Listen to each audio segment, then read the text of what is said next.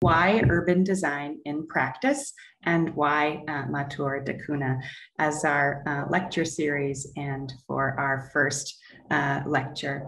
Um, um, you know, in, in, in urban design, we often talk about theories of urban uh, life or history of urban life without a, a true focus on uh, the practice where uh, ideas uh, hit the ground and what are the sort of social, political, and frankly, material contexts in which we work, and how do we uh, develop not an ideology, but a set of practices to uh, push the boundaries and advance new thinking in social and ecological urban design. So um, the idea of practice is something that we are uh, truly exploring uh, this summer during the summer semester. And we welcome all of you to um, explore that concept uh, as well.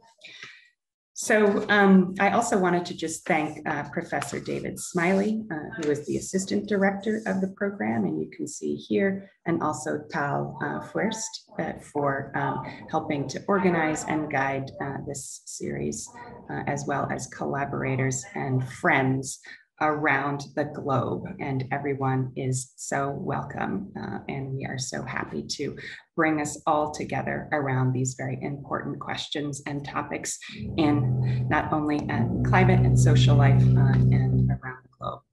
So quickly, um, I have the, the privilege to introduce uh, my friends and colleagues, uh, Dilip da Cunha and Anu Mathur, uh, their practice, uh, Mathur da Cunha, how, how can I say it, has played a, has had a totally outsized, uh, large role in the trajectory of, frankly, planning, architecture, and landscape thinking uh, for the past decades. Um, they have developed truly a, a, special way of, I would say, working in and on the world, but through an incredibly consistent and clear critique.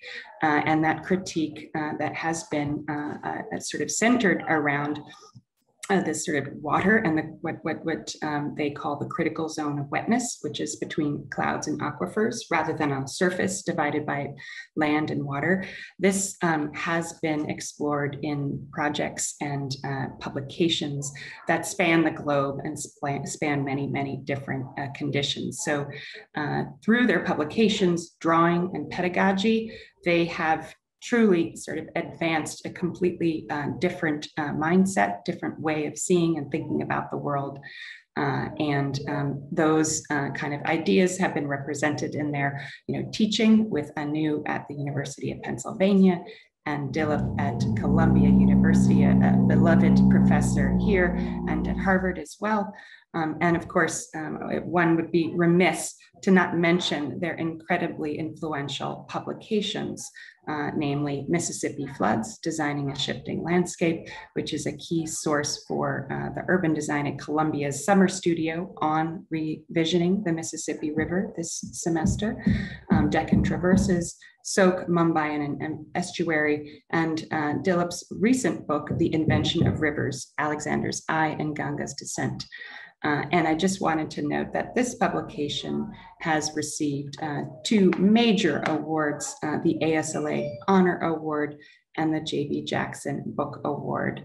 So I don't want to give a traditional introduction to you, Dilip and Anu, because uh, you know I think your practice is well known, how it spans Philadelphia and Bangalore, the methods that you use that have truly been transformative. So I would like to stop here and just give you the floor and say welcome again and thank you for kicking off this lecture series. We're so happy to have you. Thank you and welcome.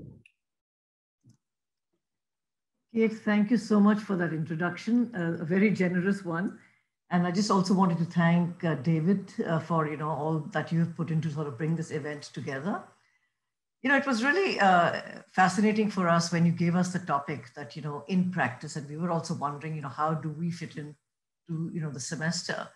And we realized that it's sort of a question that keeps coming up, like what is our practice? something we ask over and over again.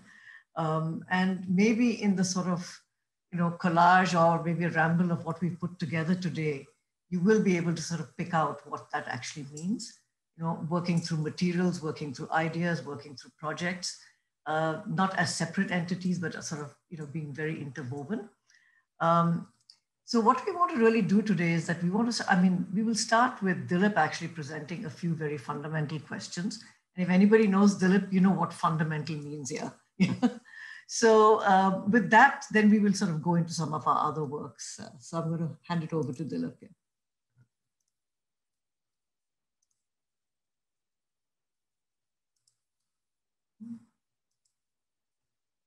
Okay, so you see the screen now. Um, yeah, well, thank you so much. I mean, it's, it's, wonderful also to be. I just want to add my my thanks, uh, and uh, it's a pleasure I mean to be speaking to students and former students and colleagues. Um, so yeah, as Anu said, one of the things we're going to do, and we're going to we're going to uh, you know go back and forth uh, through the through the hour. So, uh, but I want to start with these two propositions two propositions that uh, have uh, directed much of our much of our work and thinking. Um, and uh, they've sort of been formulated through our practice, uh, really, and uh, and uh, and more and more, they're not propositions so much as as convictions. One is that the Earth's surface exists by design, and the other is that the river the river exists by design. No, by this I don't mean that it is engineered, that the surface is engineered or the river is engineered. We all know that it is. I mean, both these things are, but uh, but more than engineered, these are conceived, invented, uh, and uh, and reality constituted on their on their ground.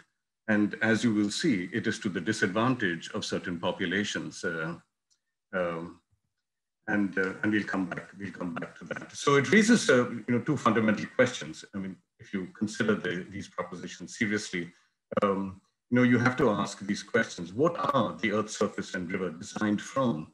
And, and what are they designed with? You know? So what are the tools, basically, of, of design? I want to suggest that they're designed from wetness, uh, ubiquitous wetness. And, uh, and by ubiquitous wetness, as you will see on the left here, you know, you, will, you, you get a sense, I mean, that what we, what we live in is actually wetness. There is no such thing as dryness to us you know, and we'll talk about this, uh, you know, with, with an example from the desert um, that um, that uh, will make will make the point that uh, that these are all unique wetnesses rather than you know dry places or you know they're just less wet. Um, so, like we like we like to say that the sea is the sea is very wet, the desert is just less wet. You know, so so we inhabit this zone, as Kate as Kate mentioned, this critical zone of wetness between clouds and aquifers. And that zone thickens where we are, you know, and uh, what we might mistake for a surface, but but it is it thickens around our, our area with the trees, with with uh, with wells and so on and so forth, plants and vegetation. Yeah. So this is this is what we design from. And and the second thing is we design with, we design with two what I call design devices. Design devices, meaning that they, they provide the agency with which we consider possibilities. So we can work with these two design devices in the mind. one is the surface and the other is the line. And by surface and line, you know, I'm talking about geometric concepts. These are concepts that we hold in our head. You know, so the surface is you know, is an, is an area that has got length and, and breadth, but no depth. You know, so you will see it in that second drawing when we posit when we posit a surface. So it divides waters above from waters waters below. Huh? And and this is the same I mean, if you if you if you follow the book of, of Genesis, you might you might find uh, you know uh, associations with these with these terms that uh, that are made with a with a god, but it is very very human. So a surveyor, when a surveyor goes out to survey uh, land, the first thing they do is to posit a surface, and that surface, you know, like I say, it divides waters above and waters below. Now, if I had to tell an indigenous person or a person not educated in geometry that there is something below the surface, they will, you know, they'll wonder what you're talking about. I mean, what, what do you mean below the surface? You know, so the surface is a very, very, um, you know, depthless thing that that we conceive and we assert before we basically design. So all of us educated in geometry do this and educated in geography. Then once you once you separate these two waters, you know you have a ground, and so you have earth below and you have sky above. You know, so you've separated atmospheric waters from ground from ground waters, and then you exercise the agency of a line. A line is a breadthless length, uh, as Euclid as Euclid defined it. It has it has no no breadth, so it is invisible. It's really invisible. And with that line, we exercise another separation, and this is between land and water. You know, and so what we have now is an articulated surface. You know, so so these two design devices, you know, are prior to infrastructure and, uh, and we want to open up what, what they exclude and then, and then what they include. But if I can just take a, um, a stop sharing for a second, uh, just, to, just to make a point of what one means by a surface and how it is, how it is used, I want to show, this is a map. I mean, this is a map that just happens to be in the house uh, right now. It's a, it's a map of Amsterdam. It's a map of Amsterdam. And now you're all familiar with you're all familiar with maps, um, and uh, you know they are informational. They're informational representations. You know they tell us they tell us where to go. They're spatial representations. There's a here and a there to the map. Uh, but then there's a huge critique of, of maps. I mean, they're made with an eye that is an eye in the sky that looks down uh, at the surface at the surface of the earth, and not everybody is gifted with this with this eye. Um, but uh, it is still considered an important instrument of, of, uh, of communication. You know, so besides the God's eye view, there's an orientation to the map. There is a selected information on the map, and all this has come under criticism. You know, and you know that uh, that maps are are colonial uh, tools of power.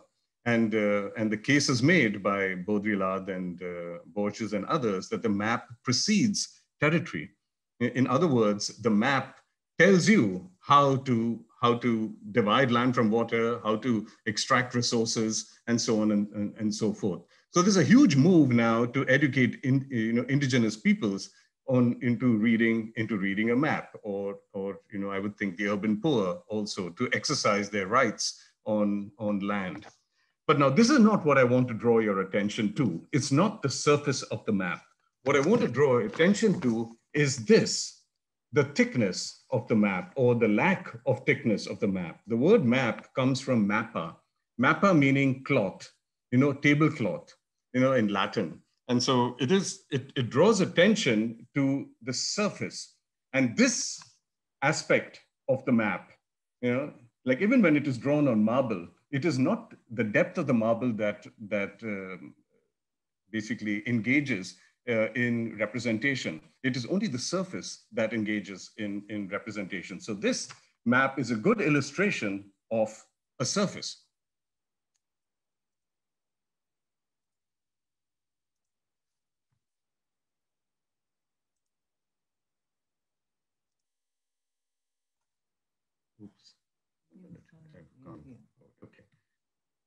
This is a surface that is in trouble today. Um, and, and we must ask seriously the, the question that if it is, if it exists by design, can we actually continue with it and look for problem solvings on the basis of this? Or must we follow Einstein, you know, and, and, and seriously ask, I mean, can we solve our problems, you know, with a, with a paradigm that has basically created those problems? Or must we look for something, something else? So in other words, is there another way to engage wetness? Uh, and and uh, you know not not basically through the map. So the map just manifests the surface, and and and it's a tool that we use. But the actual tool is the surface on the ground. Every surveyor draws the map one is to one on the ground before they represent it on paper. They must draw the line, actually separating land from water on the ground before they replicate it on, on, on paper. So this is something that that remains, uh, you know, it's it's left to be critiqued, uh, as it were. So the question that I want to I want to take you through is uh, is how is the surface posited and uh, and the river uh, the river uh, drawn. So how are these things designed? And, and I'll take you through through through this with the you know, it has to be something ancient. This is this this goes back to the sixth century BC, when, when the Nile, that, that we all understand to be a river, uh, was engaged by Greek academics uh, of the school of Miletus, led by, led by Thales. Um, what they saw was a river, and uh, a river that then raised a, a couple of questions for them. The first being, what is the normal Nile? Is it the one between, between uh, sorry, uh, is it the one you know that, that that is between June between June and September when the Nile occupies the entirety between two deserts, the Arabian desert on the on the uh, on the east and the Libyan desert on the on the west, or is it the Nile between October and May when it is when it is narrow and flowing between two river banks? Um, they decided that the normal Nile was between two river banks. Now you might think of these as natural as natural levees at the time or whatever, but they but they drew it in this in this in this manner. You know, so they defined the normality, uh, you know, of this particular of this particular object. But there was something that they had done before this. They had articulated a surface. They articulated a surface, an alluvial plain that had settled you know, and the deserts, which we'll come to later on the two sides, were unsettled, were unsettled, and so they were the place of the barbarians. You know, so so this was a place of civilization, and and uh, and uh, and with the name Egypt. Um, but having defined having defined the narrow Nile basically as the normal as the normal Nile, um, they could do this by drawing a line. They drew a line. What does this line? What does this line do? Basically, the line separates, it contains, contains water to a channel, and it liberates a flow. So without a line, I will not know um, a flow. A line sets up uh, moving water against fixed, a fixed land and allows me to gauge speed uh, and uh, this thing of, of, of, of, flow. So the line is playing a, a phenomenal role in our understanding, in our understanding of place. Um, now there is something to the to the Nile that is also something essential to the river. So uh, to the line that's that's essential to the Nile. Um, and so you see the the uh, line flows like a river like a river flows. Uh, it starts in a point, you know, like uh, as a as a river is is understood to start in a point, and then you erase a line as a river floods, and then redraw it. So there's something about river literacy that is the same as, as a visual literacy of, of the line. So the source is the start of a line, the course is the flow between two lines, and flood is the erasure of the line. Now, as, as Kate mentioned, I've sort of written a book on this, on this subject. I mean, because once you question the river, you literally question civilization. And, and you realize that each of these, source, course, and flood, has a particular idea from which they from which they come. You know, whether it is the, you know, the borders of Eden or you know um, the river of rivers, Oceanus, uh, you know, or the deluge, uh, which tells us a lot about uh, how flood was flood was perceived. But I'm not going to get into the details of this. I just want to take you through um, what this what this sort of does for us. Um, the drawing of the line, interestingly enough, was, was raised and raised two questions that, that uh, you know, for these Greek scholars uh, that, they, that they put to the Egyptians, to the local Egyptians. You know, one is, where does the Nile begin and why does the Nile flood? They got no answer from the Egyptians, which is very interesting. And, and, and, and I think we really have to pay more attention to this. Why were they not given an answer? You know, and, and um, what they saw was was ignorance. You know, they read it as as ignorance that these people did not know their their their place. Um, but but we have another possibility. We have another possibility that the Egyptians saw another Nile. They did not see a Nile that flowed and flooded. They saw a Nile that rose and fell. They saw they saw a, a wetness as opposed to the Greeks who saw a water. You know, so water flows, yes, but wetness does not flow. Wetness soaks, it saturates, it osmotes, it evaporates, it precipitates. It is, it is what they called an ocean of rain. And they knew it was rain. They called it Nile in the sky. It came from, from Ethiopia, you know, and that's what made the Nile rise. Uh, they had this, this knowledge, but why would they think of a source? you know, and, and why would they think of flood? Flood is water crossing a line that one has drawn. So flood cannot be natural. In fact, it's, a, it's, it's something that we will return to with the Mississippi, that um, flood is a constructed event based on, on, on, this, on this reading. But more importantly, what I want to point out to you is actually how the habitation of these two, of these two grounds are very different. But when you consider the Nile as a river that flows and floods, you, you have embankments. You build embankments that, you know, that, that grow, only grow over time. And you, and you, you set land free for settlement. So you contain water and you free land for settlement. If you are on this other mode of habitation of wetness, you know, where the Nile rises and falls, then what you do is you allow for wetness to be free and it rises with rain and it falls when the rain when the rain passes and this is what the egyptians did. They cultivated the ground when the nile when the when the nile rose. And it rose very gently for them because they were 2000 miles away from the rain. Uh, and and and there is not much rain in egypt. Uh, so so they just it just rose very very gradually and they let it into their let it into their fields. But there's another uh, element to this that is very important and, and, significant, and that is that these are not just two grounds of habitations, they're also two, two times of habitation. That when you talk about a river, a river is drawn, is drawn in a particular moment, in a moment, uh, in, in a moment of flow formation. So if you follow, if you follow the hydrologic cycle, and the hydrologic cycle is, uh, is, is here, there, there are four moments in its most simple form, in its simple form. So for those of you who do not know, the hydrologic cycle is the cycling of water through states and places, always with the possibility of returning to the same.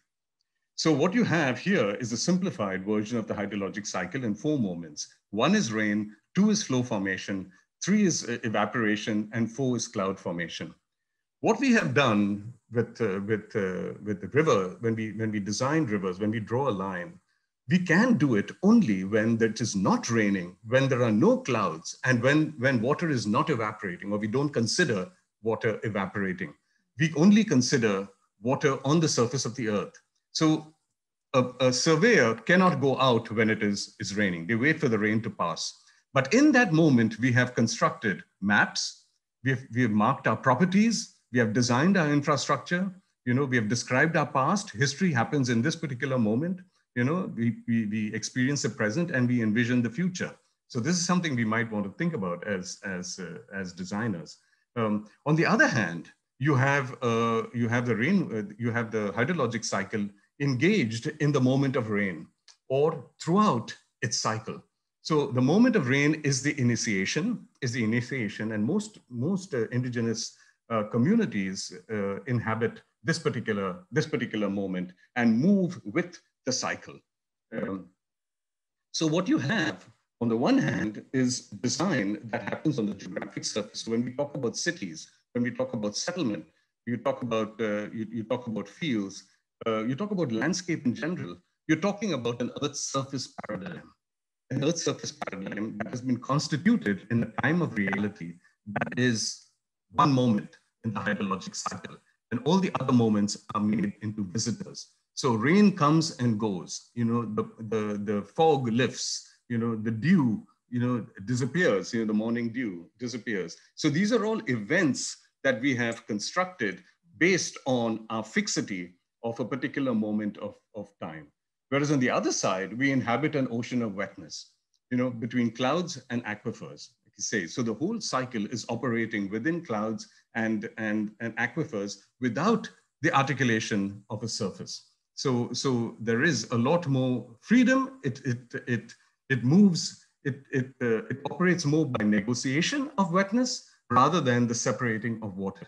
So if you look at um, uh, the, the model that we are working with currently, you know, in, in, in this time of reality, in, in, a, in a moment of flow formation, we have this attitude of separating water and we are modeling, we're modeling the seas today.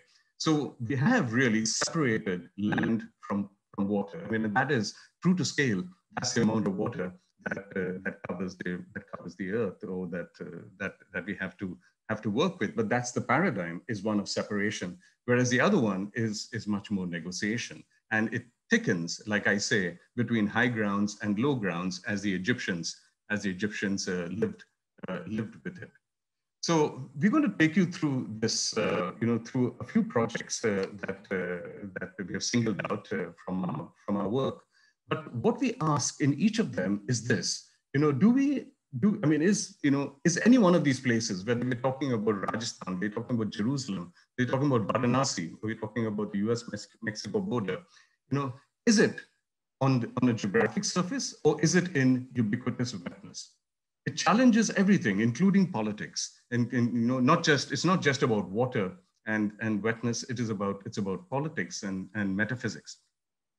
Uh, so the first thing that we are going to speak about is Mississippi, and that is what we're working on now. So we, for us, it's really like going back in time, uh, also to our, our, work in the Mississippi. That was in the you know, believe it or not, but in the last century.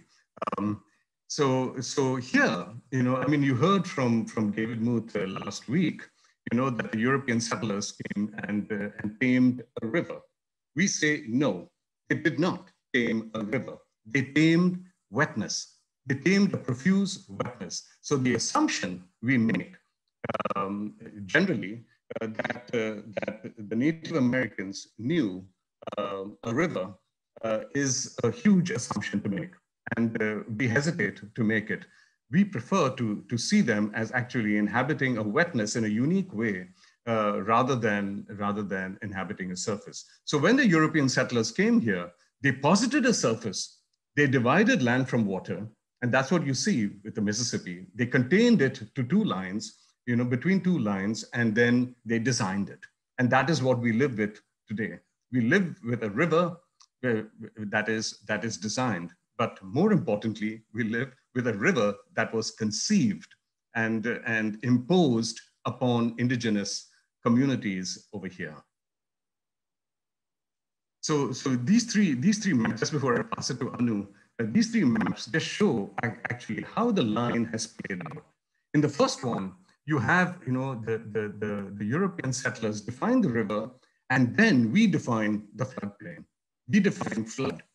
Why is it that we maintain that, that, uh, that European vision actually of a line that contains the, the, the, the Mississippi to these two, you know, between, between these two, uh, to a channel, you know, and then define a floodplain. Why is it that we don't see that entire blue on the left as the Mississippi? Why is the Mississippi not considered wetness? Uh, why is it considered a river? And did the indigenous communities here see the Mississippi as wetness and not a river. Then you have Fisk, who's basically chasing a line, you know, that he's, he's identifying in the soil. Now, and, and, and, and fixing them in particular moments of, moments of time. Now that is a questionable exercise, but it is becoming more and more prevalent uh, with, uh, you know, in, with our mapping facilities today, because we got satellite uh, imaging, people are selling books now on shifting, on, on shifting images of the, of the Ganga and uh, you know Mississippi and all that. It's a lucrative, it's a lucrative uh, business now. Um, and in the third one, you you know you know this this image of project project flood, which is which is really the containing with a line of a volume of water that you can then measure and direct to wherever you wherever you want. I'll pass it to Anu now to take you through the Mississippi. Uh, Mississippi. Yeah, I mean, it, it actually was fantastic to sort of go back to many of our drawings and images that we haven't looked at for a while. And as you can see that we've even uh, sort of enveloped ourselves in the milieu of the Mississippi. You're seeing some of the prints at the back, which have been up on these walls for a long time, actually. Since the book came out. Yeah, so I mean, so for those of you who are not familiar, I mean, this really was an exhibition to begin with, and then it sort of turned into a book. So we were really working with the idea that the visualization is what speaks more than the text that we have actually written. But just to give you a sense of it, I mean, what you're seeing on your right is, um, is a map of the lower Mississippi, which is blackened. It's the same map that Dilip showed in blue in the flood. So the focus of our work really was the lower Mississippi because we felt it was the most dynamic, moving, and you know, we were also involved with this whole idea of shifting landscapes. Uh, I mean, more and more we sort of, you know, steered away from that being the final question. It was really a starting point of some of our inquiries.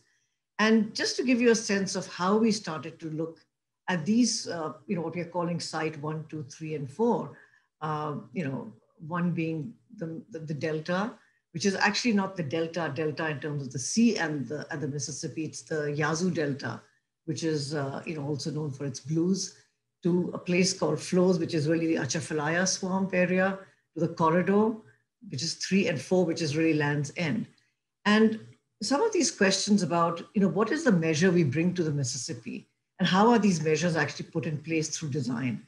So I just want to actually begin with you with site zero, because that really was the, is a fascinating start, starting point, especially in terms of the maps and the surface that, you know, Dilip was just talking about. So for site zero for us was really this uh, huge map, which was, it's huge, but it is, you know, discussed as a miniaturized map of the Mississippi. It's uh, 40 acres of poured concrete in, I mean, they were sort of precast and then put, put inside, but it's 40 acres of concrete. And it's fascinating because it was really built in the 1940s by three, you know, with the help of 3,000 German prisoners of war who happened to be here.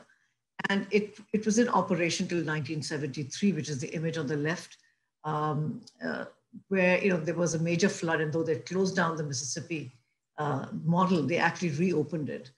Uh, the shot you're seeing at the bottom right is actually um, us and our students who finally found this model and have jumped the fences and you know uh, encroached on this territory a lot.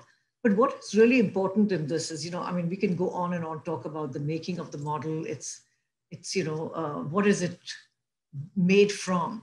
Uh, so what's fascinating is that it's actually made from a true sort of plan, if you know. I mean, it's sort of proportionate in its plan dimension. Uh, so like one step on the model would be one mile. Uh, and in terms of uh, it, its elevation, it's like uh, uh, one foot is 100 feet. So you can imagine that it's exaggerated extremely. But it was really, it is the epitome of the surface being cast on another topography. So what was important was that concrete surface. And the way it's constructed, it actually doesn't touch the ground in many places. And it's actually been supported on these pylons, really little ones, to find the balance because it was ingenious, actually, the building of the model because water had to flow. So they had to get their grades and their sort of continuities perfect. Um, and, you know, even as it is growing up, I mean, being eroded, uh, we were told often to be really careful when we walked on it because snakes and all kinds of wildlife live underneath the model. So in some ways, it sort of exemplifies the surface. But what was more important to us also was that this question as to what is the Mississippi? Is this the real Mississippi that is actually being played out out there in another scale? Or is that the real Mississippi that's being played on the model? And I think both actually it opens up a huge dilemma. And these are some working drawings that we found actually, which are not really regarded by anybody as being important, but on, on the left, you see actually the whole basin of the Mississippi which is sort of drawn on the site, which is a 200 acre site. Uh, on the, uh, the next middle drawing is actually a contour where they are working the contour slightly to be able to receive these concrete uh, you know, units. And on the extreme uh, right is the actual diagram of the concrete units on which they have cast uh, the Mississippi image. So it's really like an imprint of the Mississippi has been put. And the only thing that's important is the, is the surface. Next so i mean the, question about these constructions which you know many of you are aware of today the building of levees you know the, the revetments which are under the water line the constant pumping uh, you know from the levee from one side to the other during flood. I mean they are really playing out what was happening on the model. So the model is the reality and this is really experimental or demonstrative site uh, for whatever has been happening. It was also a public relations tool. It's fine uh, so they would actually bring farmers and other people to these models and try out, you know, raise the levees this much and then say, you know, what would happen if we didn't you know, do this or that. But just to sort of, uh, I mean, so our learning, I mean, even though we had looked at all kinds of other resources, um, uh, you know, our learning came as much from the model and what they were really doing on the model. Um, what's really interesting about when you look at, you know, an image like this, you know, immediately, at least for me, the word meander comes in into my you know sense. I, you know, as a landscape architect, maybe I don't look at this as curves, just that it is a curved line. I look at it as a meander. And when you think of it as a meander, it's a very different thing than just a curve. Because meander is really a process by which the Mississippi is actually pushing itself forward. And by that I mean is that, you know, in the lower Mississippi, this is really quite flat. I mean, the degree, the gradient here is almost non-existent when you look at the 500 miles, you know, to the Gulf of Mexico. And so what is really happening is that the force of the Mississippi from the upper reaches are pushing at this point. They are pushing the Mississippi. And so when you have that push, in order to accommodate itself, the Mississippi starts to take territory and meander. And so it, it's really, so if you sort of cut off any of these meanders, it just finds another place where it needs to accommodate that slope. So it was fascinating to us because, you know, when we met the engineers, they kept saying, oh, the river likes uh, curves. So we are going to give curves, different curves. But when you look at it as a meander, it becomes a very different thing and it also demands a very different sensibility. And for us, like, you know, we were trying to say, how do you capture that? How do you capture that sensibility? And we felt that, you know, looking at the blues, the Mississippi blues, which was also something, you know, it's a genre of music, I would say, that is very difficult to capture in a formal score. So when people sing, it really demands a lot of improvisation. It demands, you know, a, spontaneity in, you know, in how you negotiate a terrain. And we felt that the meander very much was doing that. And so we called, you know, the set of prints, you know, one of them was called engineered curves and the other one is called blues meanders. And because this is also the part, you know, as Dilip mentioned, you know, in the Delta where there were, you know, some of the blues really came out of the slaves' hollers and their music. And it was really very important part of our sort of travels also to think about this landscape in terms of the blues. And you know, we've often talked about Indian mounds. I mean, we haven't sort of you know brought it in uh, before, but in this presentation. But if you look at the diagram on the left, what you see is you're really seeing a kind of continuous line, which is the space given to the river you know, and you know, Dilip mentioned that that's what's allowed. And even though the river is even seen as within that, that's the maximum. And on the outside are all these dots. And what we're looking at, these dots are only what is left over today, but this whole landscape was profusely full of what are Indian mounds.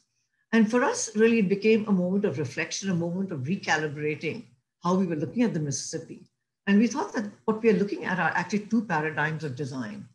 You know, one in which you've drawn a line, and, you know, of course, in this image, which is from the 1927 flood, which was quite significant in all the infrastructure that has come about today, you know, you know, wetness is meant to be on one side, but we have water on both sides. And it's a line which is trying to contain. And when it couldn't contain, it becomes a big disaster. While on the right, you see the remnant of just one or two of the mounds that are left today because this area was almost mathematically flattened. And these are the mounds that it opens up a whole idea of rising and falling. So, you know, so many of these mounds, when there are multiplicity of them, you can imagine that you let the Mississippi have its place at certain times and you go up. And so, you know, we sort of speculated the Native Americans didn't see rivers necessarily. They really saw rising and falling waters. And to some extent, this is what we are trying to capture by these two lines, which are very different lines. You know, a line of section, a line of the horizon that moves up and down, and a line that is dividing between land and water. I think I have to sort of move fast because we have a lot of things we want to show. We put in a lot here, but just to give you a clue of it, and maybe some of you can look at them in more detail, this set of drawings are actually starting to talk about the arpent measure, and this is a territory between Baton Rouge and New Orleans. Uh, and, you know, uh, I know Kate is here and she's done a lot of work on this, you know, after we had sort of uh, looked at this a long time ago. And, you know, uh, it's a place where, you know, all the properties were divided in, in, in terms of the riverfront. And from, and one of the earliest places that got so-called settled. But what's fascinating is that the whole land division is happening on the arpent, which is a French measure, where the property was divided by the extent on the, what was, was seen as the channel, what was seen as the riverfront. And so you start getting what are called long lots. And so even when these antebellum homes and other places started to, you know, sort of get destroyed or ruined or abandoned, that same sort of property was, has been adopted by all these refineries, oil company, petrochemicals. And you know, we called this set of prints uh, uh, cultivating, uh, cultivating banks. And so it's a very different type of cultivation that's going on over here between the cultivation of sugarcane and other things.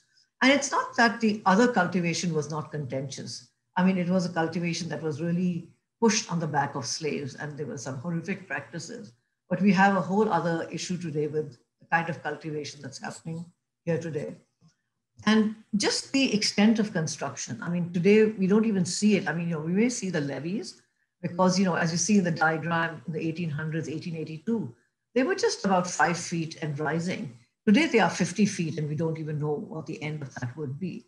But this whole idea of sort of gathering this, making this boundary and sort of saying this is the place of the Mississippi um, is visible, but what is not visible are these concrete revetments. So there is a whole series of mats which are under the water line and they appear once in a while. And so you can imagine that this whole idea of work, and it's a kind of practice on the Mississippi, is ongoing all the time. I mean, there are barges which are, you know, one area gets repaired one year, you move to the next area. You know, levees, crevasse, uh, like they, they, you know, they break down with even a crab or a, you know, a crawfish going through it or a major storm event. And, you know, we, we keep finding this, there's a constant maintenance when you've actually defined it so tightly. And what really is going on here, I mean, in, you know, in fact, this image on the left, which was some document we found in one of the offices of the Corps, and we hadn't seen it for a while, uh, is the Riker plan. And, you know, this is really what is the imagination in people's mind. And if you could just have a channel and just let the Mississippi do its own thing, it would be perfect.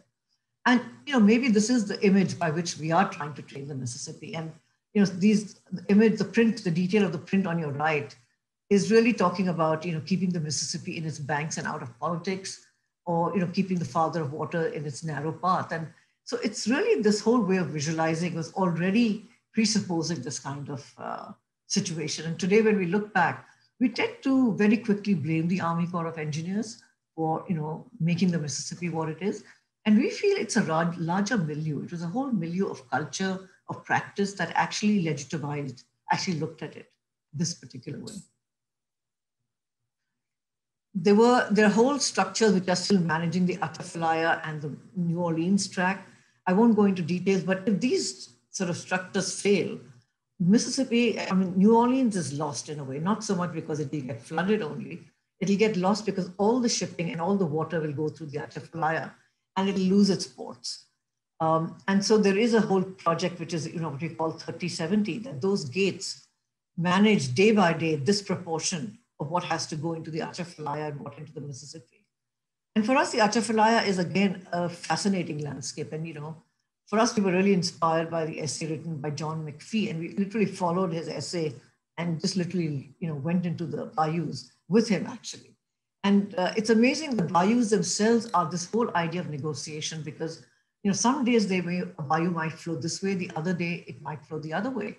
And it's happening. I mean, if you imagine it's like this huge tub, the way you look at the oceans, and these are actually movements. Because of some other force here, things are starting to shift this way or shift that way. And people who live in this landscape really know which way it's going to go. And so they you really need a certain knowledge of this landscape to even negotiate it. I mean, there are many stories I could tell you about us getting lost and not being able to find the right bayou, but that will be for maybe another time. And just a quick image of uh, what you can't read is all the agencies. And there are at least hundreds of agencies which are fighting for plus water or plus or minus flow. So you can see the shrimp farmers want a certain amount of wetness in this area, while the, you know, the ports want a certain amount.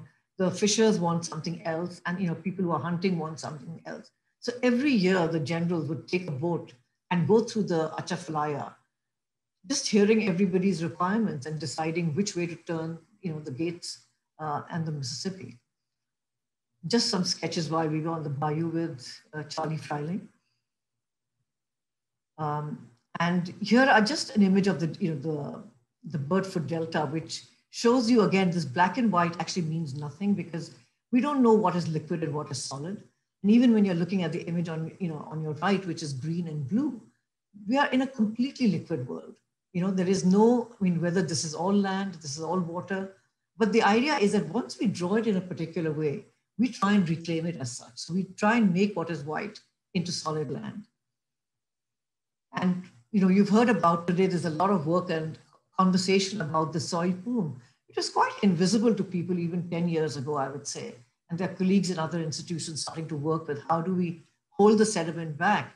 And you're seeing an image of the mouth of the Mississippi, which is, you know, you're looking from the Gulf of Mexico into the mouth. And uh, it's really so much sediment. I mean, you could you know, it's what we call eroding continent. It's all completely washing out the good soil of the United States.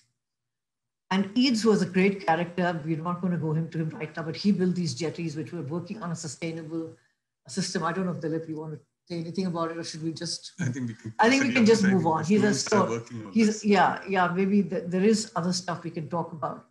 And for us, it was also kind of working with wetness when we were doing our own modes of drawing. We don't want to call it representation, we call it presentation because we were synthetically put, bringing together stories and ideas.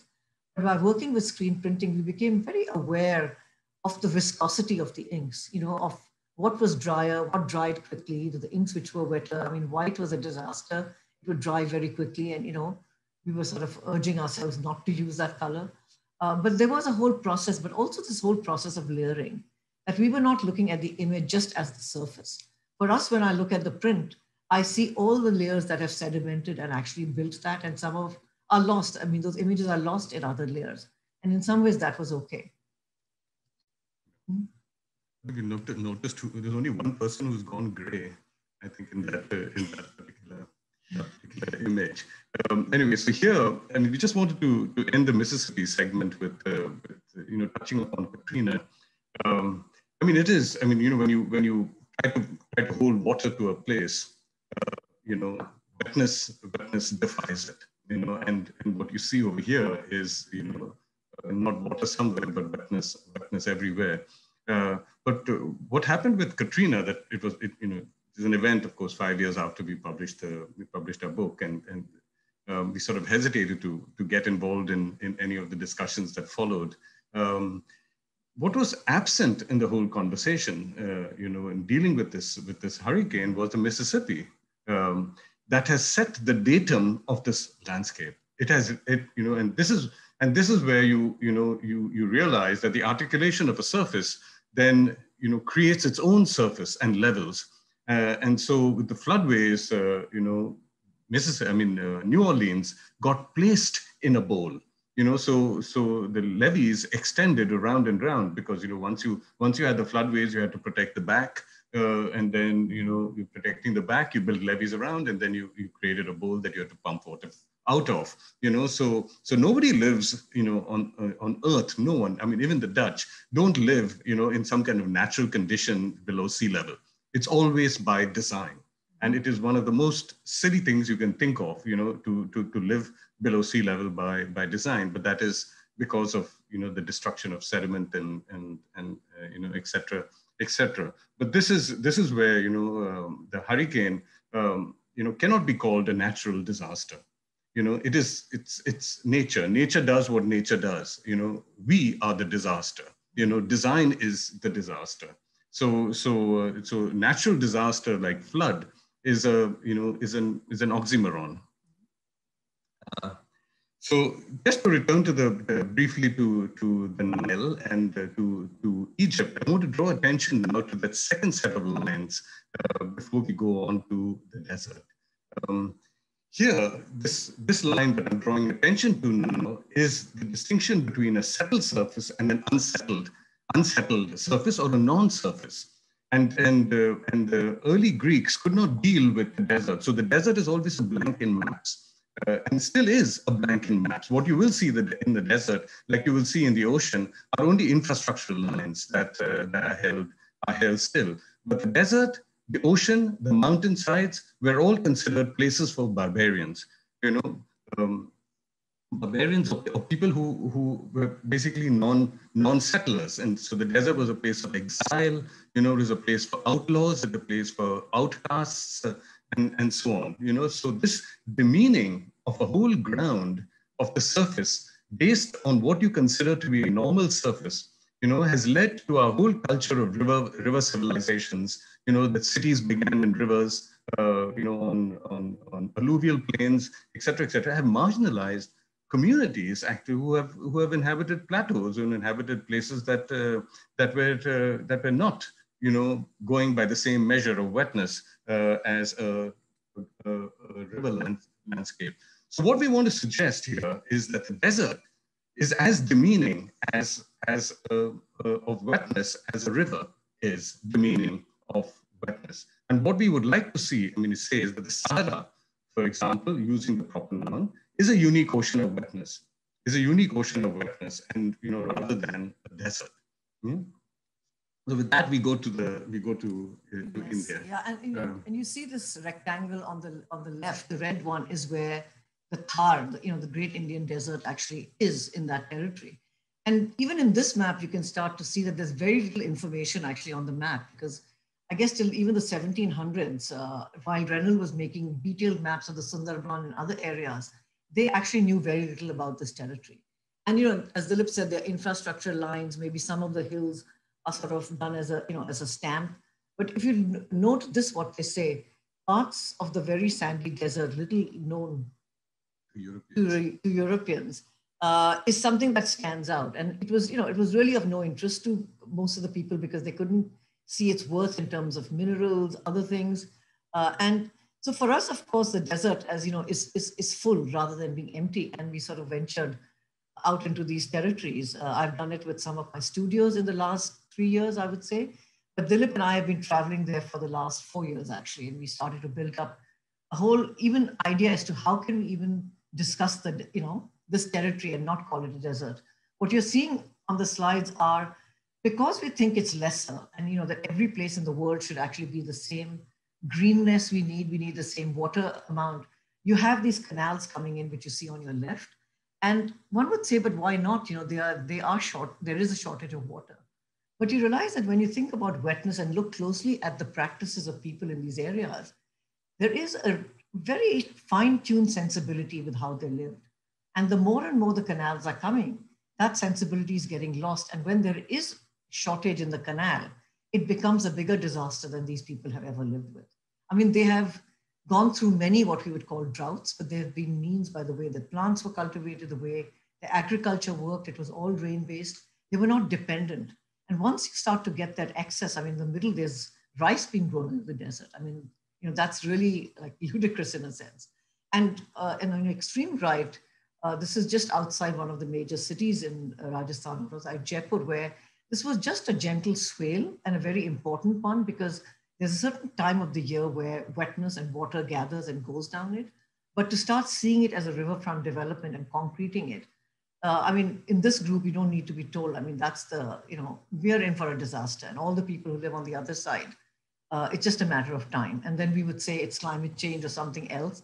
But this is a design disaster, actually, you know, in, in the works. So what we just want to, we're going to almost quietly take you through some of our travels, but we're starting to look at particularities of landscape and this whole notion of how people dwell. And, you know, it's not necessarily divided between urban and rural. I mean, there are these settlements called dhanis, which, you know, families live. There are these amazing musicians who, you know, today they are going all over the world and performing, but they always come back to those dunes and to their dhanis in order to sort of be home. Um, the potters, who have been sort of, uh, I mean, these pots are actually quite famous across India because they hold moisture and transpire in ways that are unique because of the materials by which they are made and the process by which they are made. Um, and you find them everywhere. You find them under trees, you find them in the marketplaces, you find them, you know, in places, you know, the whole idea of offering water is actually almost sacred. I, you know, I wouldn't say sacred in a religious way, but there'll be old ladies who are doing nothing else but in a little shed with, you know, with a, you know, with a particular, you know, matka, which is what those, you know, clay pots were called, and giving people water. So, so in some of our traverses, we started to identify and look at certain kinds of landscapes, which gave us an idea of resilience and about how do we build our own sensibility. So it's not so much about documenting something that we do believe is going to be lost very soon if the you know canals keep coming, but also something by which we learn uh, not to apply it you know, aimlessly somewhere else, but to just start to get fine tuned to the sensibility. So in our own work, I mean, we've been also trying to, you know, push how do we draw, how do we work with materials? And, you know, you've seen some of the Mississippi work, and you can see that these are actually screen prints that behind us, you know, very large screen prints that were done. But with, with uh, thinking of wetness in the desert, we really got fascinated by how there's wetness in processes like the printmaking, the block printing, but it could just become a way to play with some of these photo works that we've done and to start talking about wetness, which is not only above the horizon or below the horizon, but transcends the two and starts to give you different qualities. So these, these are just some studies actually which were done on the table we are sitting on. Um, just you know two other images, but I think in the process of making, you know, you start to you start to almost draw out this wetness from these sheets. And I think for us, you know, you know, we don't start with an idea that this is the way we're going to represent this. There's a lot of trial and error. And some ways this language has started to find some kind of, you know, uh, place in this body of work that we are actually been producing. Next. So, you know, basically this is part of a larger project uh, on which we're calling Ocean of Rain um, that engages different parts of uh, Indian of the Indian subcontinent. And there again, we're asking the question: Do we live on an Earth's surface, or do we do we inhabit an, an ocean of, of? Um, so here, what what happened was, you know, when, once the British had defined a desert, um, you know, in this place as a desert, they were then burdened by having to explain how millions of people lived in this in this uh, abnormal abnormal place. So they have been looking at these people with some sense of pity, uh, you know, but also some in you know uh, wonder, you know, as to how they how they how they survive. But one of the ways in which they survive is the Oran, and uh, the Oran has been you know sort of explained as a as a an oasis. But it is so far from an oasis. An oasis is something that is clearly divided, seen in plan as a spot uh, as a spot in, in a desert of sand. So you can, you literally, you know, almost convert uh, from, from dryness to wetness. It's a very classic earth surface reading. But the Oran is something else. You know, you, you, it, it is on a gradient, you know, between clouds and aquifers. You enter and, and wetness comes toward you, thickens around you. And as you exit, it, it, it leaves you. So just to take you through what you know this is this is a, a, a, photo work that we put together of an oran or what people there call an call an oran yeah, at times there are bodies which gather you know even in the dry season they have what looks like water but even the just the plants and everything is holding a lot of wetness here. Yeah. and this is a place where where you can only you're allowed the community allows you to forage but not to extract not to grow not to cultivate anything. You know so you can you can uh, you can take your animals and plants there this is the way this this, this oran lives uh, between clouds and aquifers and there is a kind of silent stewardship that happens uh, in this because you know the rest of Rajasthan or the Thar we were traveling, it's just overtaken by Prosopis juliflora, which is uh, the mesquite, which is sort of invasive. And you find that only in the orans they are not present. So obviously people are sort of maintaining it, even though it looks, you know, to our eye, if we hadn't gone with somebody who had the eye to show us that this is an oran, we would have driven right past and not even, you know, noticed that there was something different here. So there are two tendencies when you engage landscapes like this. On the one hand, you move towards singling out things, you know, singling out things, separating them, you know, trying to understand them the way we understand landscapes. And on the other hand, you engage this wetness, you know, and so, so we call these two directions, one toward India and the other one towards Sindhu, as two, um, uh, you know, movements that are possible actually in, in design. Um, and yeah, we, I'm going to do a quick one for this also because we may have to even ask. Uh, it's almost oh time. Gosh. Yeah. Um, but anyway, uh, you have to hear about the Luni because Luni is just this fascinating place in the Thar. And looking at this image, I mean, Luni itself has a couple of meanings. It's a salt. It's it means salt, but it also means a kind of a wadi um, in you know in another interpretation. But for most of the year, you know, you'll find goat herders, you'll find salt, you'll find cultivations happening, even fairs. And so for us, the question was that only there are, I guess, three months when rain comes, and again, it's very sometimes scattered rain, sometimes it's a flash flood, but it has actually water in it. Hmm? And we still find that the only anchor that the initial surveyors found in this landscape in their surveys was the Luni because they were looking for a river. But they were also looking for a, a flow or something they could fix. And just looking at that image, you know, it's not something you can really fix. So some of these drawings come from James uh, Tod, who has written something called the Antiquities and Annals of Rajasthan, which has a lot of cultural descriptions with all of drawings of Rajasthan actually in this. Uh, but we'll just take you through our sort of uh, this whole idea of source, the fact that there is a place where it begins is almost sort of mythological. Uh, but as you go through, the dyers are working on it. You know, the Siberian cranes come. There are fairs that happen in a particular town called Tilwara, where you know horses are being uh, brought and sold, and cattle are being brought. Um, you can see in, in some of these extractions, you can see all the sort of agents and characters. There's also a whole practice of making salt, which you see in that pit, but also the cycle of all these sort of traverses uh, and crossings that happen here.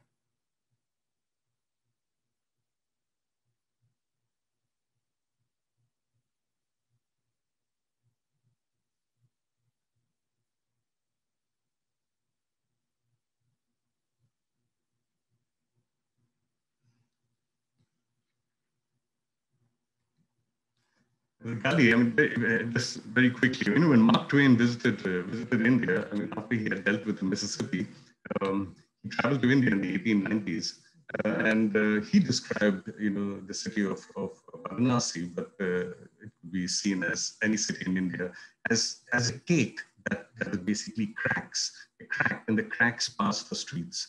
Um, those streets are called gullies. The gully is, is a, is, that's the English understanding of the gully, you know, as a rain, as, as something that was created by rain erosion. Um, and uh, the streets were seen as this appropriate sort of, you know, natural configuration rather than a rational con configuration of, of a native, of a native town.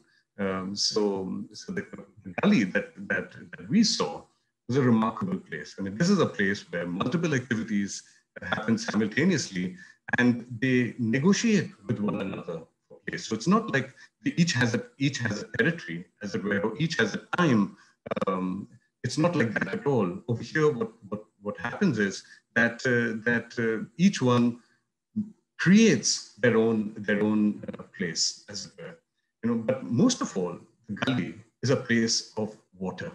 You know, it's a place that gathers gathers water from the high grounds of Rajasthan. This is basically Jodhpur, um, from, the, from high grounds to low grounds where they are, you know, where they, where they catch. But they're actually taking out water that creeps out of rocks, water that seeps out of the earth uh, and, uh, and, and into the air. So it really captures that particular moment um, of, uh, of wetness.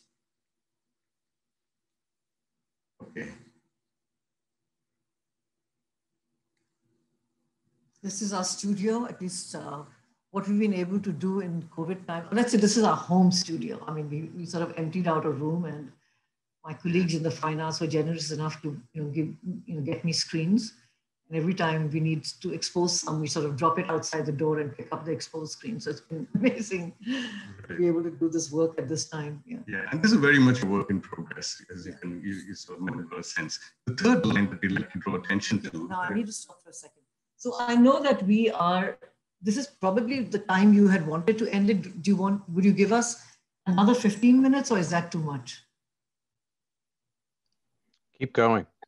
Keep going? okay, thank you. So, so the third line, the third line that we want to draw attention to is the coastline. You know, so mm-hmm. we've done with the river banks in a sense. I mean, and, you know, that as, as a human articulation the line of settlement and civilization as a second articulation that has marginalized whole populations who, who inhabit places that, that uh, we consider to be abnormal. And the third now is the line between land and sea. And with that, with that act of separation, we have created the sea as something outside, uh, outside of us. You know, so so we we are basically land designers, as it were, that treat the sea as as a place, um, you know, that uh, that is uh, the the sea and rain we treat as outsiders. I mean, many of you have heard us talk about the Mumbai project quite often. So we're just going to, we just picked up a few slides to sort of connect the idea of how that body of work really fits in with this trajectory or how we've been rethinking it and reworking each one in order to start thinking about wetness everywhere. So, you know, it's interesting that the coast, when you look at the coast and when people talk about estuaries, which the west coast of India, which you're seeing, uh, you know, a line drawing on your left, um, and you know the other drawings which were done you know the early by navigators and the portolan chart which uh, have a different quality But when you think of the estuary, we tend to think about it as the meeting of the river, uh, of a river and the sea, and that there is time for that to meet. Um, what we find that actually when you look at the west coast of India, because there is a, you know, a sharp escarpment over there, you know, when rain falls, it is so fast, you know, it's coming down so fast that while there are streams, they kind of lose their place. And so in some ways, the whole west coast becomes an estuary because it's almost, one would say that the, the rainwater doesn't have time to find the streams that it needs to use. So for us, that you know, these drawings also were important because you know, talking, looking at the drawing on the left, a little from, from the portolan chart, we felt that there was a much more porosity, uh, openness in the way you know these surfaces were looked at, to coming down to becoming a really hard line of the coast, you know, to this uh, map, which is the, the, brown map, which is by uh, who kind of you know talks about this particular line. And for us, it's not any line. I mean, this line is such a powerful line between land and sea. And to turn it into section, it's not that we were forgetting that it exists, but we were actually starting to open it up to a completely new reading. And, and this sort of at a different scale, you know, while we're talking about the scale of the whole coast, you look at the scale of Mumbai and Mumbai Island, the same kind of uh, sort of capturing of it as land. And so Mumbai Island, from being this much more porous, open, a kind of terrain, uh, a terrain which has wetness seeping through it, above it and below it, has really become this flat disk or this flat territory which keeps growing. Um, and you know, for us, this was really uh, you know the important part uh, to sort of move away from this image of Mumbai as this flat land wasting to start opening up the estuary. So by, by an estuary, we mean a place between land and sea that, um, that negotiates you know, the ocean as well. Um, whereas land is something that you think of as just drained to the sea. Mm-hmm. So, so Bombay, the island city, which is really a colonial, a colonial construction, really sees the monsoon and the and the sea as outsiders. That you know, the monsoon as a visitor uh, and uh, the sea as as basically an outsider. So what we did was we said, why can't we think about Mumbai as an estuary? And and so for us, it's important not just to actually see this as something for the future, we also see it as a reworking of the past. And we say that, you know, when you have Bombay Island, it's very much on British terms. So, mm-hmm. so you have a fort as, the, as the origin of settlement, etc. Whereas when you look at Mumbai as an estuary, you see actually that, that people over there lived in coconut groves and, and they were the first, first uh, you know, places of, uh, of, uh, of habitation. So, so you get a completely different history and you get a completely different post-colonial politics, if you will. Mm-hmm. Um, so, so here you have, you know, it, it sort of stretches into, into land uses as well. You know, the Bombay Island is, is understood, um, you know, is, is divided further into smaller islands. And this is really land use thinking of the planner, you know, so islands within islands within islands. And that's the way they design Bombay. So this is a very classical approach to urban design on the one hand. And this side, when you talk about Mumbai as an estuary, you have practices and these practices, you know, sort of evolve in time, but they also engage in time, you know. And so there's a there's a you know whether it is water, whether it is a game of cricket, or whether it is you know pulling up of a boat, uh, fisherman's uh, you know world. I mean, they're all practices of a kind. Uh, so it demands a completely different kind of an engagement of place.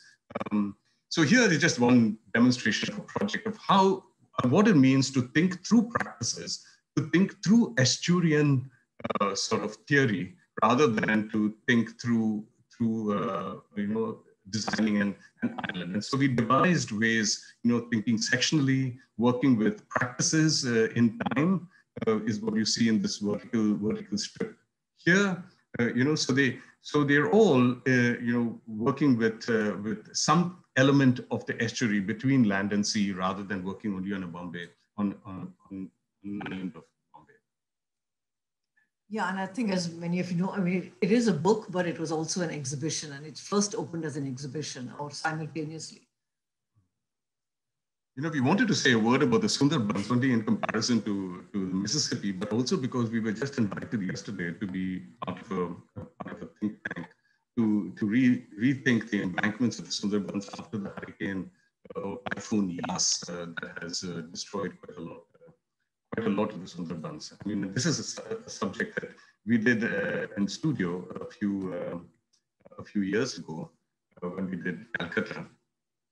Geeta and Kate will remember that. Um, so, so here we have, you know, the, the possibility of reading the Sundarban. The Sundarban is called the, biggest, you know, the, the, the, the biggest estuary, uh, one of the biggest estuaries, like the like the Atchafalaya, but uh, even larger People see it as the mouth of the Ganga, the mouth of the Brahmaputra, the mouth of rivers. And when they see it as the mouth of rivers, they see it as a delta, as a delta situation. We don't see it as a delta, you know, because the delta is something that is defined by the river. Whereas if you see it as an estuary, then we're acknowledging rain and sea. So the estuary is between rain and sea, between the monsoons and, and the Bay of Bengal. You know, so, so for us, these are two vastly different, different places. One is really an ocean of wetness. The other one is a river system. Um, but when you have a river system, this is what you have. So you have the maps that evolve into defining channels and defining islands. And people live on these islands and behind embankments that you see over here.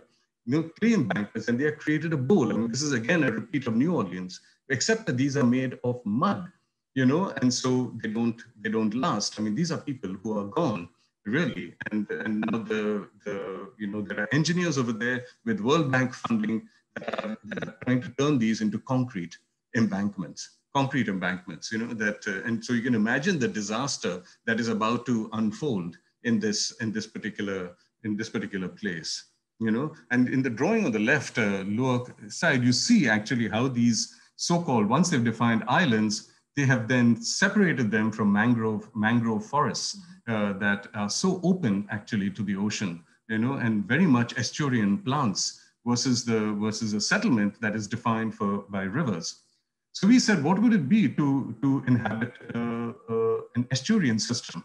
You know, where you, you we put together a different set of maps that had gave us clues that this is an estuary and not a, and not a delta situation where the sea has much more of a presence than the uh, so-called river. So it's between rain and sea. And, and here people live on high grounds, on high, between high and low grounds, rather than you know in, in islands uh, behind embankments. So I won't uh, spend too much time over there, but uh, move on to Norfolk uh, as our last, our last, you know, very quickly we'll just skim through this. But this is where we uh, we sort of used the Indian mounds as a strategy for raising ground uh, against uh, you know, against the sea, but that would be more welcoming of the, of the sea. And I think also in terms of the Sundarbans, you know, I just want to add one thing that, you know, what, what these colleagues were asking was, can we design different kind of levees? And we wrote back saying that that debate has been happening among landscape architects and architects for a very long time. And to some extent, that's not what we are talking about. We're not talking about you know, levees with functions or nature-based levees. I think the whole idea of levees has to be questioned. And there are other configurations by which in time we can actually do that more easily in Bangladesh than in maybe in Norfolk. And we, so we feel there's a certain synergy that goes between these projects or observations that we just wanted to share. And so what you're seeing here is, you know, the whole difference between seeing the coastline as a firm line by which you actually barricade it or you move from it. So even retreat is seen as a, or on the other side, you know, is it an open line which is working in the other direction? Like, you know, the, the, sh the ships, the fish, the, you know, all the other aquatic animals all move east-west. They don't move north-south. And yeah. And so it works much more with the gradient of rain. So yeah, this is what, you know, so there is one image of the coast which could reverberate, the other which completely changes the axis. And we feel it is almost necessary to start looking at this other direction, which is not so absurd when you actually look at even what is happening in the Chesapeake. Uh, I mean, when you look at it at different scales, you'll see that almost fractally, there, there are these sort of, you know, uh, valleys and ridges and rills and streams. And, and so there is actually a whole system of ridges, you know, what we call high grounds and low grounds that is kind of prevalent there. And rather than seeing it only as a shape, as a black and white, uh, if we could start to look in Norfolk today at potential situations, and you know, we are not only looking for the natural ridges, there could be, there are actually areas which they're geologically like that.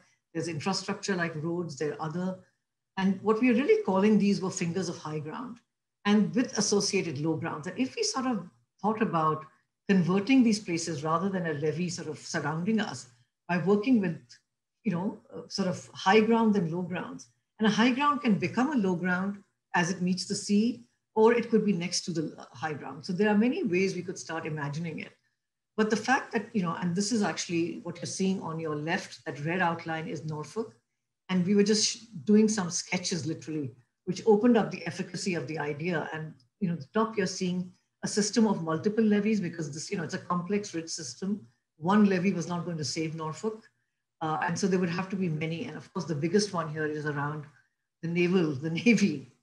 And what you're seeing at the bottom is an incremental approach to starting to build up on ridges, starting to build up on post-industrial sites, existing highways. So it's not only the natural features, it's also constructed features which start to give us a different kind of fabric on which uh, settlement can start to happen. And in order to demonstrate that quite precisely, you know, those are just diagrams. We took several sites and we just give you a glimpse of one. And this is Lambert's Point, which is a, you know, a coal port right now where there is coal coming from China and being brought in.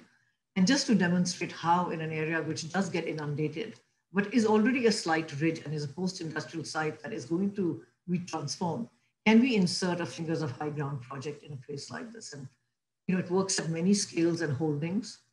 Next. Um, you know, so even, you know, it's not difficult to orient you quickly, but this is by, on the left image is by right by the Elizabeth River as it meets the ocean, as it meets the high ground. And there is a need there for cleansing the, you know, the gray waters from the city.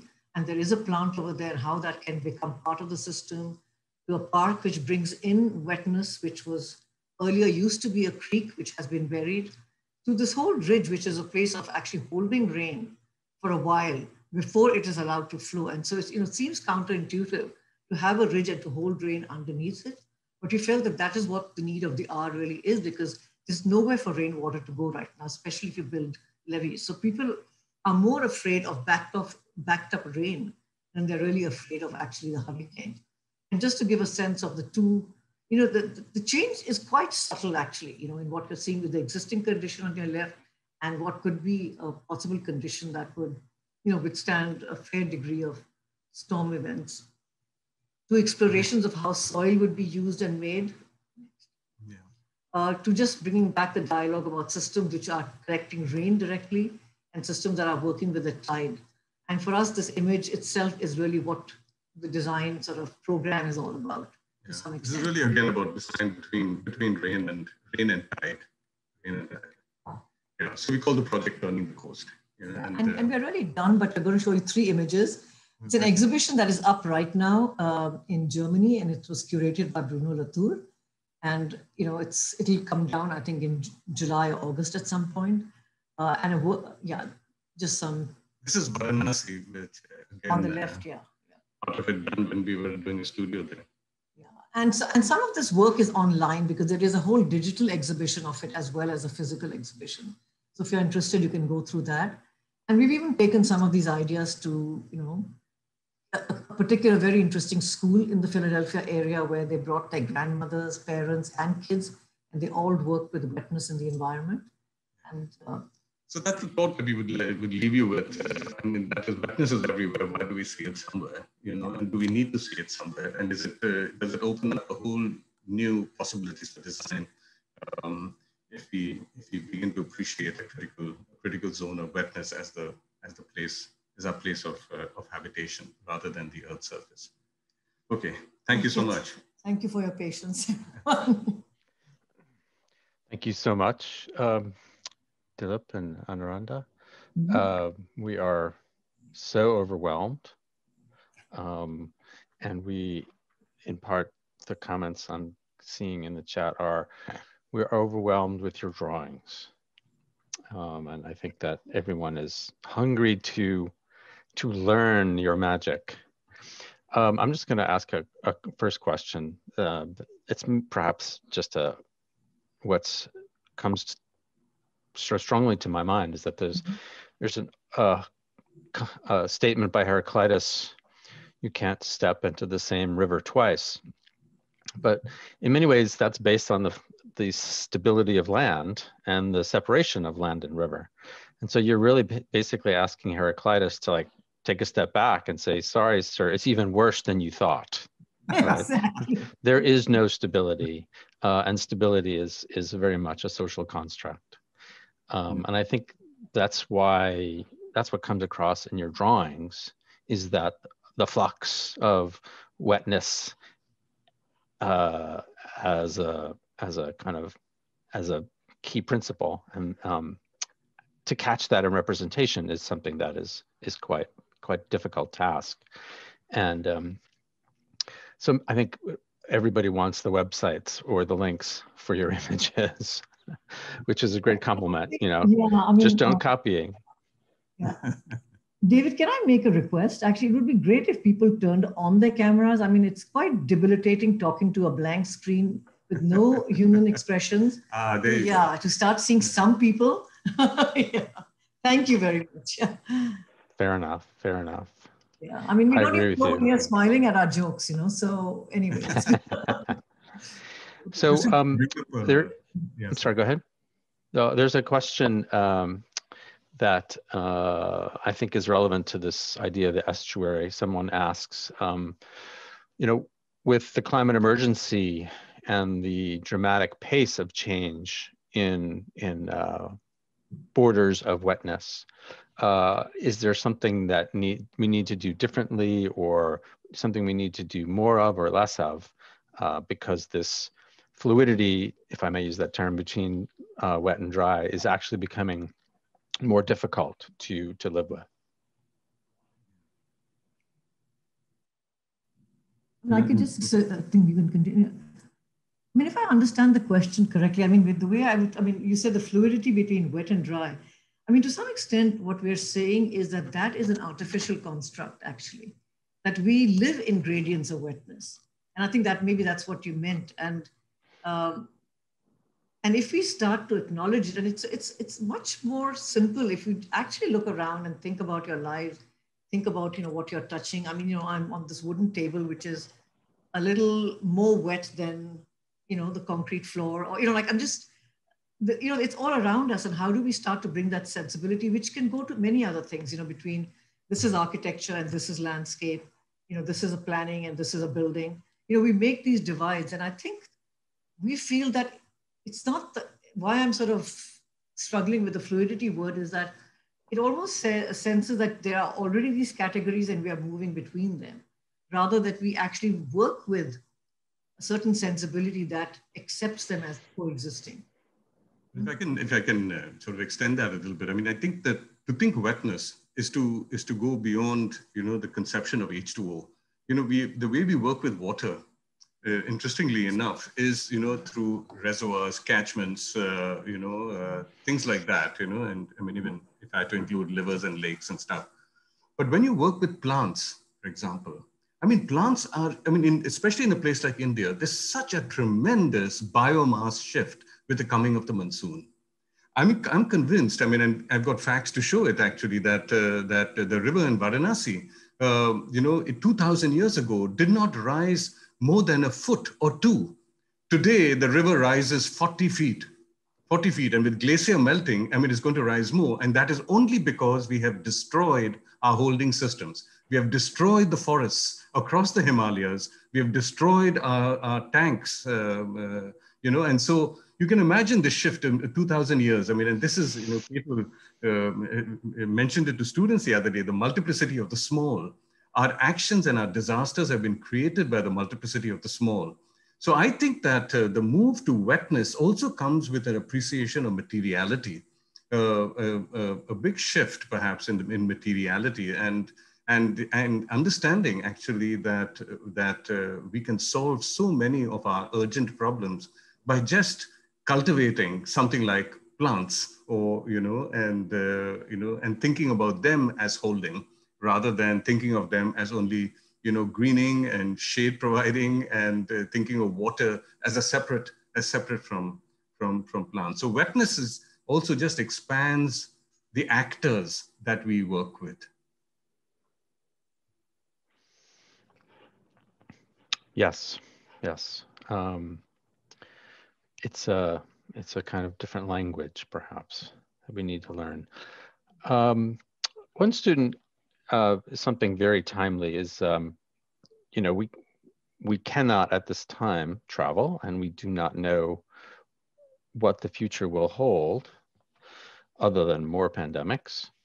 And so, um, how does one engage a site in the ways you have in a world of, of, of new restrictions on movement, whether we like them or not, or whether we are allowed to interpret them or not? You know, there's, there's, there really is no substitute for, for being in place. You know, I mean, I, I mean, I just keep thinking of some of the trips that we have made, you know, like last year to the Rift Valley, um, you know, and then before that to Pune. And I mean, you know, the kinds of, the kinds of things that we see, the complexity of being, of being there and of actually negotiating even the simple crossing of a road you know? I think there is no substitute anywhere for experiences experiences like that you know certainly. Um, but having said that having said that you know we have to go for the next best in the situation that we're in. Um, and uh, and we are doing that to some extent uh, with um, you know of course we are right now working a lot on on stuff that we have gathered like three four five years ago. Um, but um, but Anu, you have done studios where you haven't gone to places uh, you, you know, I was just thinking about that, and you know, and and done them both ways. Like you know, when I used to take elective studios at Penn, a while back there was no funding. I mean, we had no funding, and you know, especially to go to India seemed like impossible. Uh, you know, like you did a studio, and I remember there was one year in which I mean, there were two things happened. One year. Uh, I, and we, I think we just finished Deccan Traverses, and I mean, Dilip and I had a lot of documentation and sensibility about that landscape. So at some point, I was forced to do the studio without being able to take the students there. And I, and I think what we did was we changed the way we look at the material we gather. I mean, to some extent, going to site is very easy. You go to site, you identify a place, you bring it back. When you can't literally go to site, you have to work analogically a lot also. You know, literally, you know, people can give you maps and things like that, but but you have to sometimes work analogically in the sense that I remember uh, you know, students started to build collective models, started to, we started to do a whole series of works that gave them different sensibilities. Uh, and so, and sometimes if it's done well, I mean, I'm, I'm sort of rambling on here, it can be more productive also. And I mean, my own experience is that, you know, again, decades ago, I was doing a thesis studio, my final uh, on Dhaka, and there was political unrest and I couldn't go. You know, there was just, and I just had one map which somebody gave me and, you know, things I had read about it, things Kahn had written about Dhaka. And with a very simple set of tools, I started to build things in the studio. You know, started to build with bamboo, which I found, you know, so there was some analogous way of working. But of course, I am from India and I have spent time in Bengal. So there is already a certain connection. I feel that if there is no connection, it's you know, you can do a studio, but you don't know who you're doing it for. Uh, but I felt that there was ways of working that uh, are more material than sitting on the computer. So I guess what I'm saying is the knee-jerk reaction is that we can get everything digitally. We can at least get the maps today. We can go research. I just feel one has to push back against that a little bit. And you know, with the little bit of knowledge you might have, how do you build, how do you gather other pieces of work? Um, so, I mean, it does happen in life. So it's it's happening to everybody collectively right now. That's the difference. Yes, it, we're our our sense of mobility is being challenged. And many groups in the world have always had limits to their mobility. Exactly. Um, so in some ways, um, the concept of the border uh, is exerting itself in all the problematic ways that it can.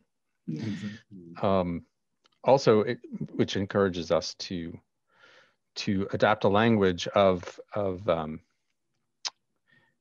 ambiguity that um, goes against systems of property and systems of surveying and systems of capital, which require precise boundaries. I mean, think of the description, English descriptions of property.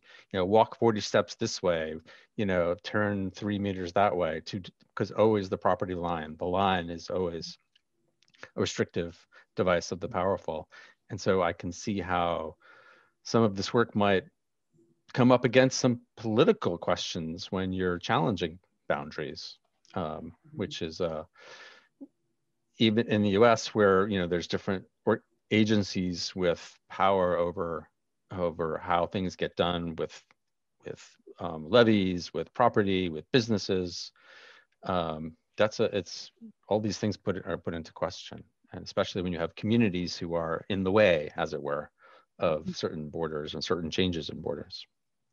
I just want to Um, say one thing, uh, David. You know, I mean, you, you sort of reminded me of, of, of one thing when you said ambiguity. I think that there's, there's a way of working now just because, you know, of the complexity that, uh, that uh, you know, of these places. Uh, even when we are there, we encourage students to think about possibilities rather than to think of a solution, you know, uh, as such, but to, to, to think of possibilities. So to seed change and and uh, and allow that seed to grow and and transform what this is doing what the pandemic is doing and our inability to go there i think is encouraging us to think more in terms of possibilities than than you know that one kind of solution so so it is in that sense a good thing you know that uh, it sort of allows us to sort of receive from there and and work with a larger palette without any conclusive you know sort of um, kind of direction, you see? Yeah.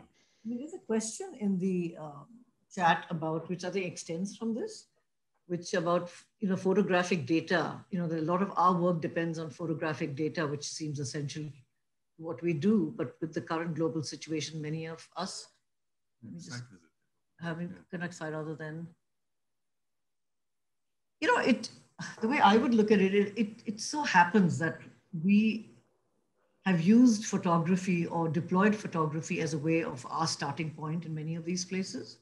And sometimes it's not even been that. We have done a lot of archival research before we went to the place. It may look linear in the terms of way, the way we present it.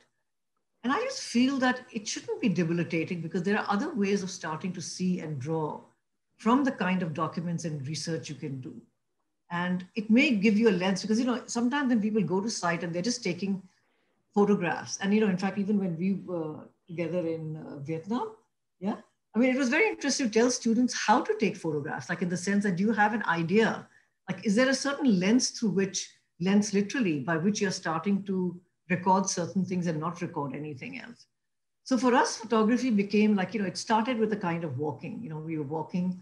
And I think in our earliest work, think Deccan Traverses photography wasn't even that important. We hadn't even used it as extensively. So we've found other ways of drawing and making. And I think there's such a wide range of possibilities that I just feel that nobody should feel that you can't do something. You just have to do something equally powerful. You know, so you have to say that what, what is at hand and what can you use as a starting point of, uh, of your research becomes the question. That leads into a different student's question, which is related to the idea of um, how we can change existing infrastructures and um, how do you, approach existing systems, uh, which are probably the bigger problem than the any new infrastructures. We have to revise some so many other things. I mean, to some extent, we are addressing the existing infrastructure. I mean, that's where all these projects start actually, is because of the conditions that have been, uh, that have arisen because of the way we have built certain infrastructures and the attitude. So, um, I don't know. Yeah, I mean, even the, I mean, it's not easy for if you're not familiar or had time to look at the Mumbai book carefully that all those projects uh, sit very squarely on existing conditions and infrastructures. Um, and I'm not sure I got the question. you know, the thing that you, you know, isn't it harder to address existing infrastructures Hmm. than new things you're proposing? Oh. Yeah.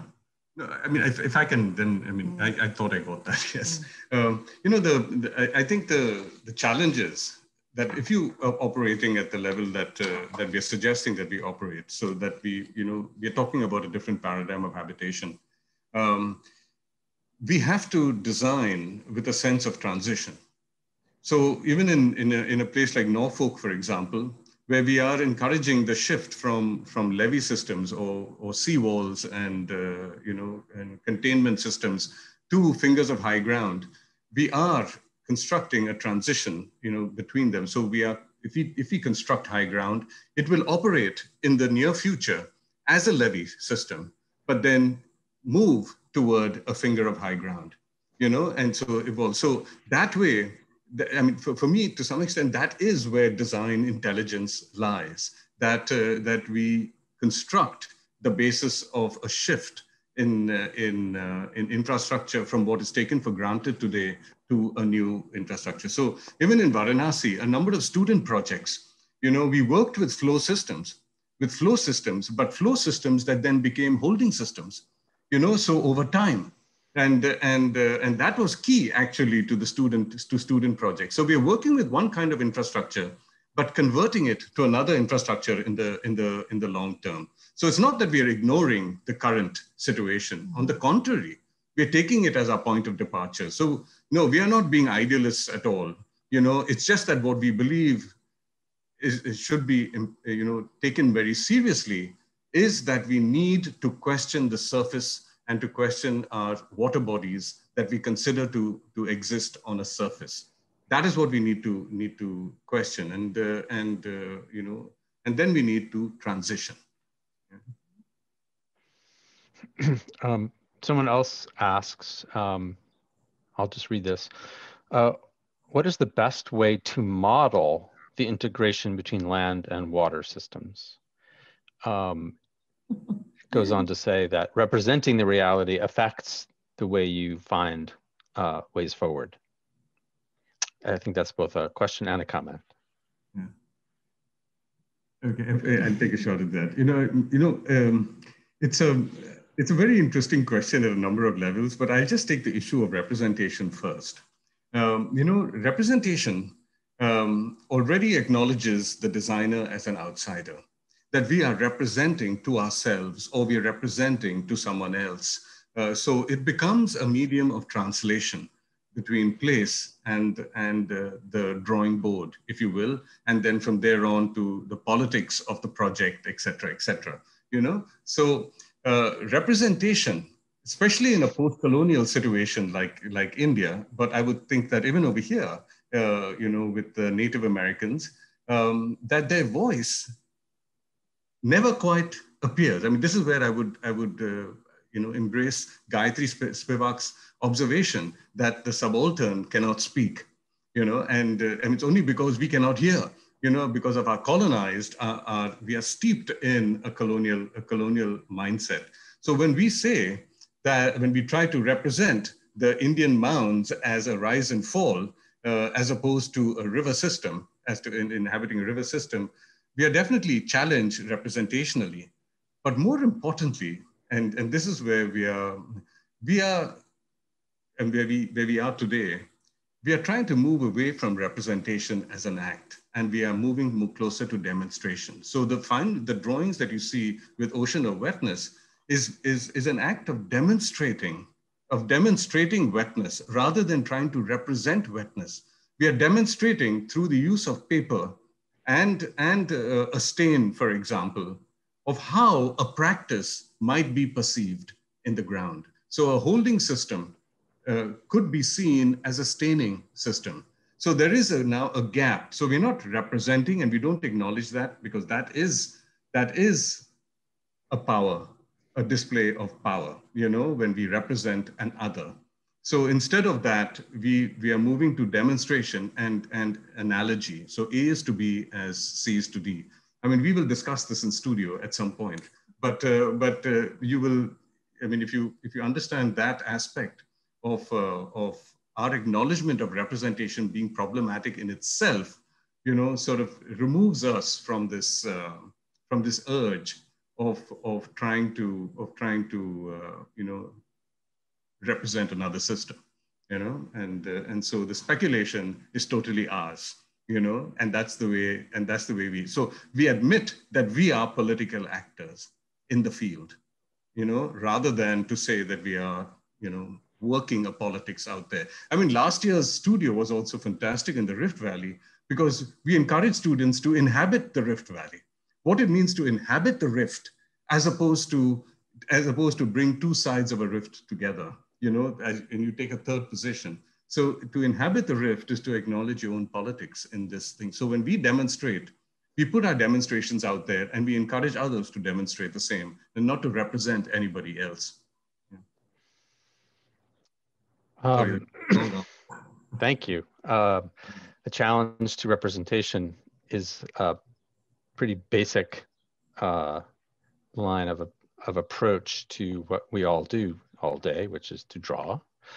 At the same time, uh, I really appreciate the idea of demonstrating um, to show uh, what rather than to uh, discuss, as it were. Um, I think we need to wrap up now. Mm-hmm. And uh, unless Kate, you have any thoughts you want to add? You can just no, just, just thank you so much. And I, it's sort of overwhelming uh, gratitude in the chat. I hope you can see that. And I just appreciate everybody joining today. And uh, we'll close now with a little bit of applause. Thank you so much, uh, uh Dilip and Anu, for joining us. And, and I want to thank, thank everyone from wherever you are um, for being uh, with us today. And uh, you can continue if you have other questions, you can basically uh, email me and I will pass them along. And uh, we're so glad that we've had so many people on today. It's, um, it's really thrilling. And we will see you next week. Wonderful. Have a good day, everyone.